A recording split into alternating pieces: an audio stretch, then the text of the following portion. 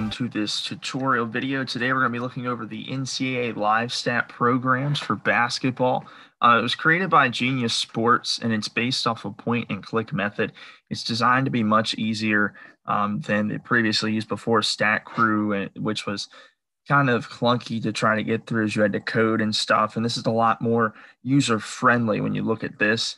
Um, it's free to download, so you can use it um, any you know anybody can use it. Um, you wouldn't get game codes, which is something that I'll talk about a little bit later. Um, but it's free to download and it's used by all NCAA schools um, all the way through. It's the same thing you could see anywhere from Division One all the way down to the Division Three. Easiest way to practice with this and really to show you how to use it is to walk through a game. So you'll start with that by putting your starters in, and I'm going to use my home school, Bridgewater College, in a game they played against Randolph Macon. Um, back earlier this season. So usually you'll have a spotter with you, and before the game, you'll have starters turned into you probably 20 to 30 minutes before. Uh, I know there's a rule in there somewhere. I can't remember exactly how much time. But all you got to do is, is you got to click who you have. So for this example, for Bridgewater, it's going to be 32, 21, 22, 5, and 3. And then for Randolph Macon, it is going to be 23, 5, 22, 10, and 31. And then you got to go down here and click save. Now you have the starters in. And now it gives you this action log here on the side. That'll tell you everything you need to know. If anything doesn't go right, um, you know, if you accidentally put something in that's not right, you can flag it or it'll flag it for you if it's like a, a, you know a foul all the way on the other end of the floor or a possession's not right it'll flag it for you um, but yeah so over here if you ever have any questions or you want to see what you put in you can look over at your action log um, but right now it gives you this option here you've got your starters and they'll appear up here and Bridgewater and Randolph Macon the teams here. I'll have Randolph Macon in black because they're wearing black jerseys. Bridgewater, their colors are usually red and crimson. Um, so I chose him as red. And I went in and manually set up all these details, which you can do if you find. Um, you can look at the rosters and things like that. But normally, when you would set up a game, you would get a game code and you would put that in from the NCAA, and it would you would have all this stuff already put in. It would give you players, numbers, um, you know, who's eligible, everything like that. You would have all that here. You've got your benches for both teams over here. And if you need to go back and fix your starters before the game, you can go over here and do that as well.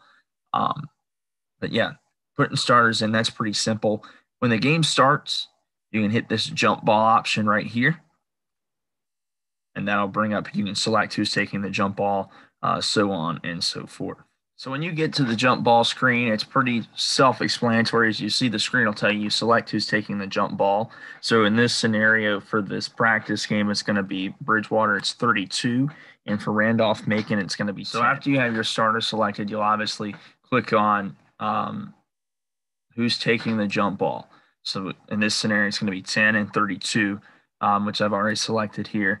And then it's going to give it right down here. You're going to start the clock. The clock can always be controlled by just simply clicking the space bar um, when we get rolling. And I'll show you that here in a couple of minutes. Um, and what I'm going to do here is I'm going to walk you through a couple different things that happened here. I have a, a game log in front of me here that I'm going to walk through with you um, and try to point things out uh, how to spot fouls, made shots, missed shots, rebounds, um, you know, different turnovers, timeouts, all those different things and what they look like when you try to pull them up here. So we have our jump ball player selected. So what we're going to do is, is we're going to hit start the clock. And then it's going to ask you which team recovered the ball. And in this scenario, it's going to be Randolph Macon. So then we're going to click on Randolph Macon. And now the clock has started. And you notice it says here Randolph Macon has the ball. It's going to give you the arrow. So that shows Bridgewater will take the next possession. And I'll stop the clock here by clicking the space bar just to make sure that we don't run out of time. But it gives you a couple different options when you're here. You have a timeout, which you can take, and that'll show, I'll show you that here in a couple of minutes. You can also sub out uh, when we get to a dead ball. Uh, you can do it kind of right now as the clock is stopped.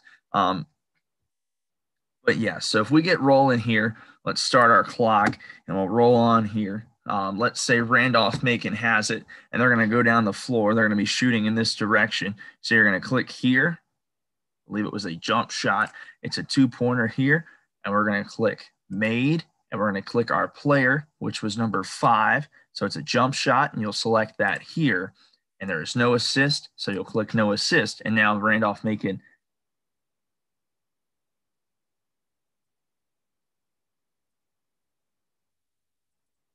you see there. So now, actually, this is a good thing that I showed you this. So you can't actually do this. So Randolph Macon, I should have clicked on the other side. So I should have clicked down here. So what I'm going to do is, is I'm going to go over here and I'm going to take this and I am going to, I believe I can delete it. Yes. And I go here and click on the trash icon and that will allow me to delete the event. So now that's not there at all. So what I need to do is I need to click down here on Randolph Macon's end of the floor at the elbow click made in the player, jump shot, no assist. And then we can start the clock back over. And if that happens in the game, what you can do is, is you can flag it. But in this scenario, that helps us stop it. So we can stop the clock and kind of go back and practice through what that looks like. So now as we start it, Bridgewater's got it. They're attacking this direction. And what we're going to do is here we have a foul. So we're going to stop the clock at the whistle. And we're going to go underneath here. And we're going to go over to Randolph Macon. We're going to click personal foul. And we're going to select our foul is on, which it was committed by black five. So you'll click that. And then when you get over to your foul type, you're going to just select personal because it was not a shooting foul. So it's just a block. And now it's going to ask you who drew the foul for Bridgewater. And it was number five. So we'll say red or white five, depending on what your spotter is. So you'll click on that and then that'll give you that. And then you'll just start the clock on the inbound. You don't have to do anything with the shot clock. Luckily, that helps you keep it. Uh, you know, you don't have to do that. It takes one, one thing out of your hands a little bit. And so notice here, it'll give you the fouls. Um, it'll also display bonuses when you get to that and timeouts used and so on and so forth right there in that spot. So we'll start the clock back here. And Bridgewater still got it. They're still down in this area. As it says, Bridgewater has the ball. So we're going to go here. We have a layup. So it's made shot made, Bridgewater 21. And it was a layup, and we do not have an assist. So have no assist, and your t- score is tied at two. The clock is running. We're going to go down here. Randolph Macon has the ball now.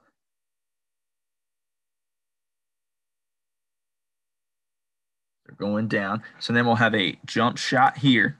It's going to be missed by Randolph Macon. Missed by 22. And jump shot. And the rebound is going to be received by white 22. So you'll click over here, and now Bridgewater has the ball headed the other way. Now, at the other end, let's say we have to do the same thing down below. So Bridgewater here, you have a missed shot by Bridgewater 32. There's a layup rebounded by Black 10. So you'll just click there, and that gives you the defensive rebound. And you see it shows you the missed buckets there. Now we're going the other way. And Randolph Macon has it. They're going to pull up. Let's say they take a jump shot from just inside the arc. Miss. Black 10. We're going to call it a jumper from there. And then we're going to go stop the clock, dead ball rebound and then you're going to select which team has it that went out of bounds. So we're going to say for this scenario, it went out of bounds off a Bridgewater player. So we're going to click on Randolph Macon. So now we have our clock stopped. So we're going to have our first sub here. So you're going to click on sub. And now you can put in your players. So you want to put the players that are coming in. So in this scenario, we're going to have 24 black is coming in. So you have that selected down here in the white. And now I need to click on who's coming out of the game. And it's going to be 31 is coming out of the game. So you'll click there. Now it puts 24 into the game and 31 out. And you want to come down here and click save. Now, if you ever get in a situation where you have a ton of subs coming in, or a lot of times out of a timeout, what you'll like to do is you'll like to click on switch to wave sub. So that clears everybody out. And it tells you who came off the floor. In this scenario, we'll easily just be able to go right here and click who came back in but say it's a whole wave substitution or something like that, you can easily hit switch to wave sub. And as the players come out, your spotter will be like, you know, black five, black 10, 22, 23, 31, and, and so on and so forth. When you're done, you want to come down here and click save. And now it gives you the players that are into the game. So now we're going to go back to set the ball back in play. We're going to hit start clock. It's going to be a layup off the inbound. So we're going to go layup or a shot rather. We're going to click on Randolph Macon's in. Missed by 22. Layup. A rebound to white three. I know I have them labeled as red, but they would be in white jerseys if they're at home, and you'll have your spot. And now we're going the other way. You have a live ball. So go down here. We're going to have a layup underneath Bridgewater. So this is another thing here. So layup Bridgewater made 32 is a layup and the assist by three. So you make sure you want to put that in if you want to add an assist. It gives you that option right after. So now we're headed the other way. So we're going to have a jumper from here, missed by black five. So you click on jump shot. And then we have a rebound to white 22. So Bridgewater 22 with the rebound. Now they're going to go the other way. And Bridgewater tries to work. Let's say they try to work quickly here. So we're going to go missed three point by five. It's a jumper. I'm going to go with our rebound. Uh, offensive rebound to white 21. So that'll keep us down here at this end. And then we're going to stop the clock here. You can click up here to stop it or just easily hit the space bar. Then you go down here.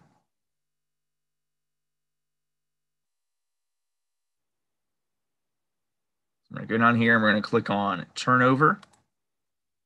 And it's going to be Bridgewater 21 who committed the turnover, which is what you'll select here. He was called for a travel, so you'll click there, and then it just turns it right over to Randolph Macon, um, and then you keep going the other way. So it's pretty simple. Uh, let's go to one more thing here to show you that. Um, so we're going to start our clock here. Randolph Macon's going the opposite way. And they're going to drive in and we're going to go here. We're going to stop our clock.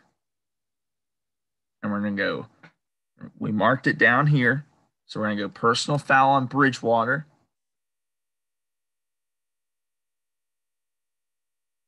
And it's going to be on 32. We're going to click shooting. And it was drawn by black 10. So we selected who drew it, and that's important here. We can the fast break and whatnot, that doesn't matter. We'll keep it on for this point on the foul. So now I'll ask you for the number of free throws and make sure you have your foul committed by who's in here. And if you want to sub before the shot, you can do that here. We're going to hit next. Now you get your opportunities here. So this is what it looks like on a free throw. So you have attempt one and attempt two. So in the men's game, you're going to see it this way. So they get the first shot here. I'm going to say he makes the first shot. So that'll give you there. So now after the first shot, let's say you have a sub for Randolph Pinker. Come over here and click substitution. 10 can't come out of the game because he's a shooter, but let's say five comes out of the game and 44 comes in. So you're going to just do that there. And for Bridgewater, let's say 24 comes in and 22 takes a seat. So there you have that. And you got to come down here and click save like we did before with our subs, and it brings you back to the screen. So now you get the second attempt here. Let's say he makes it. So that makes it easy for you and brings it right back here. So then you'll start the clock on the inbound, which is what we'll do here. So we'll start the clock. Bridgewater working with it quick. Pull up here. Let's say made shot by five jumper from and was it a fast break? So this is the option it gives you earlier that I was talking about at the bottom. We're going to say yes because they work quickly. It'll just show up as fast break points when you get your stat printout at the end of the game or the end of the half. So we're going to click yes. And did he have an assist? We're going to say no. So no assist, and then we're working the other way for Randolph Macon. So let's say after that three, uh, their coach not very happy with what happened. They're going to advance it to here. We're going to stop the clock, timeout, and we're going to say Randolph Macon took the timeout, and that would pick which type it was. Um, we're going to say took a, a, full timeout because we're not to the media timeout yet in Division Three. So we'll click on a 60. Then I'll ask you, is the score correct? And you want to make sure, uh, look at your your scoreboard in house there, and make sure you have what they have. Um, and you'll click yes if it is, and that's how you go. So it's pretty simple. Everything is point and click. Um, as you see here, one thing that you can have is the technical foul option. um, which can obviously happen at any point in the game. And you'll click on that. And, and a technical is a lot different than any other foul in basketball, obviously. So let's say Randolph Macon gets a technical foul before we come back out. And you can put it on if it's just on the bench, if it's on a player that's on the bench, or if it's on the coaching staff. So if it's on the coach, you can click coach. And then there's a, a couple class technicals, um, you know, in, in college basketball. Um, the class B is not a personal or a team foul. Um, the class A personal foul, but not a team foul. And it'll keep track of that for you. You'll just need to know which it is. Um, and the officials should let you know. If they don't tell you specifically, you can see that um, they'll come up to the scorers table and they should tell the score, the official score, which is a book that'll be kept down. Um, should be on the scorers table. I know for us, we're kind of a, a level behind where they are at the head scores table. I know at other schools they're side by side to make sure they have the same score at all times. And if there's any issues and discrepancies, they can figure that out quickly. Um, but let's say here we're going to say it's a class B. Um, so it won't count as a team foul, won't count as a personal. Um, Bridgewater, we're going to say we're going to go one free throw. Foul committed was by the coach for Randolph Macon. We're going to go no free throws actually since it's a class B. We're just going to hit next. It should let us do that, and it does. So Bridgewater is just going to get the ball out the, the ball out of the break like they like they wouldn't have. I guess all you can say is it's just a flip of possession because Randolph Macon had a technical foul.